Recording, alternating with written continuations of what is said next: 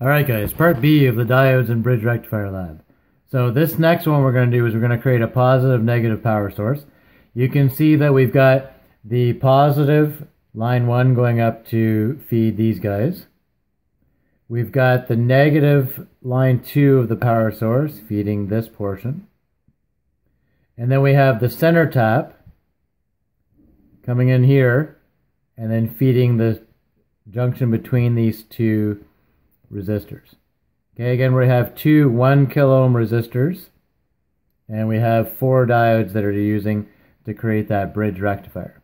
So that circuit is set up here. You can use your jumper cables or you can use these guys to jumper them all out. So we've got the power coming into the top here. That brings positive voltage to all these guys. Negative voltage on the bottom here, right? So that's coming off of line 1 and line 2. And then here you can see at the center tap right here is going between the two resistors. Okay, first thing we need to do is once we've got this guy set up, then we've got to do a quick schematic. I threw in the voltages that I expected to see. So I was expecting 20 volts DC across uh, either side of the resistors. And then if it's a source voltage of 20 volts, then it should have 10 volts across each of those resistors because they are equal values. Okay, next one, going down, we're going to put the alligator clip of the scope on the center tap of the source. Okay, and sketch the output waveform that you see on the scope. So I got 2 milliseconds, 5 volts per division, and times 1 for my probe setting. And it looks like, again, we're getting the full wave output there. So what we're going to do is we're going to take the scope here. Okay, we're going to go across uh, the first one. We're going to have um, the alligator clip on our center tap here. And then we're going to go across one side of our resistor here. Okay, so at that point we've got our waveform coming out and you can see that there's the positive waveform of our positive negative output. Okay, again I've got the alligator clip on the center tap and I've got my positive referencing my positive of the circuit. And there you can see that the bridge output there. Okay, so we're going to draw that out on our lab there. At this point I'm at 2 milliseconds, 5 volts per division and times 1. And I've thrown in the 5, 10, and 15 on the side there in order to reference those guys later on to look at my voltages. Okay, the next thing we're going to do is we're going to look at uh, the other resistor. So we're going to keep the, the alligator clip on the center tap and we're going to reference the negative. So again, alligator clip's in the same spot and what we're going to do is we're going to come over and we're going to reference the negative here and you can see here that that's the exact same waveform, but in the negative output.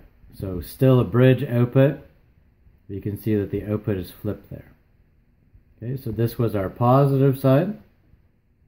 So we can get a positive voltage out of the circuit, or we can get a negative voltage out of the circuit. Excellent, okay? Both peak voltages are the same. So drawing this in again, 2 milliseconds, 5 volts per division and probe setting is on times 1. So you can see here that if I got 5 volt per 5 volts per division, I got 5, 10, 15, just over 15 volts for my peak voltage there. Okay, now that's reduced because remember that we're looking at two resistors that are going across that source voltage now. Okay, next thing we're going to do is we're going to look at uh, our individual voltages. Now each of these voltages should be the same value, right? Because they're the same resistance value.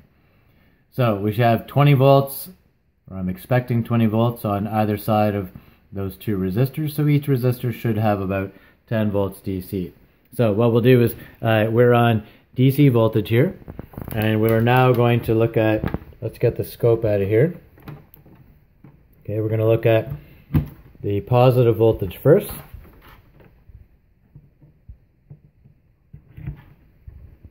Okay, so we're looking at our positive reference versus the center tap, and we're seeing a voltage of 10.2 volts. Okay, The previous time that I did this, I found 10.3 volts. Okay, that's our positive voltage. Where we're going from the center tap. So keep that center tap connected now. Okay, we're going to go over here to the other resistor, and we should see the exact same voltage, but with a negative polarity. So there's our 10.3 volts coming out on that second resistor. So identical resistance values, because if we look at our total voltage across both of the resistors here, should be about 20 volts. Okay, so we're going right across the resistors now, and you can see that we have 20 volts across there, giving us 10 on each of our resistors. Okay, so our calculation here, we got uh, our V peak of 32.94 that we found before on the previous part of the lab, minus our two diodes. We lose 0.7 volts, or about 0.7 volts on each of those diodes. So 32.94 minus 1.4 for the diodes times 0.636 gives us that 20 volts that we just saw on the voltmeter. Okay, each of those resistors will drop half that voltage, so 10 and 10. Does it compare with the meter reading within 10%? Yes. Okay, last thing we're going to do is looking at the, the diode, right? You can see that the bar there is the cathode. The other side without that bar is the anode. And the symbol for that shows you that this is your cathode and this is your anode. The anode is supposed to have the positive voltage and the cathode is supposed to have the negative voltage in order for the diode to conduct. So last thing we want to do is we're going to basically close everything down and then we're just going to grab one of the diodes. So we'll just grab one of these guys here. Okay, so we'll grab this guy right here. Again, we're just looking at the Just focus it in here. There we go. Okay, so this is a, a, different diode. Let's grab, where's the one that we are using? Sorry guys. There we go. So there's our 1N4007 that we were looking at before.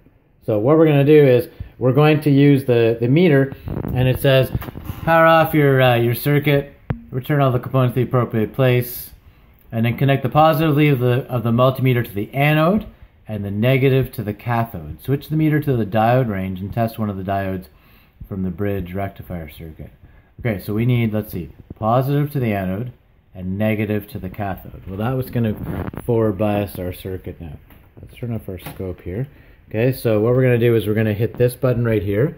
Okay, that's for the diode setting.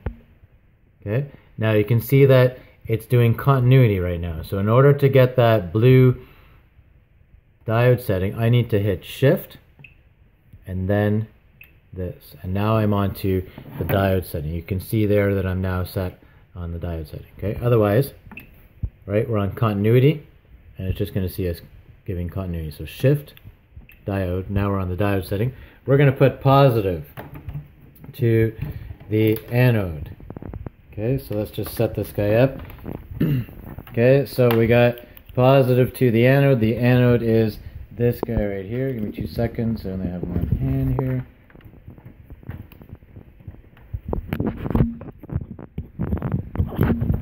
Okay, so we've got positive to the anode. Okay, so we're just connecting it up on the back there. And then we'll take the negative from sorry, negative from our, uh, our meter here. Okay, and we'll just connect that up to the cathode here. Two seconds. Okay, so we're going to the cathode. We're putting the negative there. Okay, so we've now forward biased that diode, positive to the anode, negative to the cathode. Okay, and then you can see that the voltage that we're getting is 0.5 volts. Okay, so what is that? That's the voltage drop across the diode while it's forward biased. We've put positive to the anode, negative to the cathode. This diode is conducting right now, and we're seeing that 0.53 volts drop across there. So it's supposed to be about 0.7, but again, that varies. Okay, so what happens if we now change the polarity? Okay, so instead of having the positive on the anode, what we'll do is we'll put the positive to the cathode here. Okay, give me two seconds just to set this up here. There we go, positive to the cathode. Okay, we're going to get negative to the anode. Okay, so we've now reverse biased that diode. And again, if this is a diode and we have reverse biased it and we've put the, the wrong polarity to that, so you can see that we have negative to the anode and positive to the cathode. That guy's not supposed to conduct. Well, there we go. We have open line here. Right, so at that point, the diode is not conducting. So it's a quick and easy way that you can test out your diodes. In forward biased, we're supposed to see that 0.5 to 0.7 volt drop, and it should be conducting. Okay, and at this point, we have it reverse biased, and we're seeing an open line, meaning that it's not conducting anymore. So here we can drop in those two voltages to finish off the lab. 0.53 volts is the voltage drop across the forward bias diode, and the OL is corresponding to an open circuit.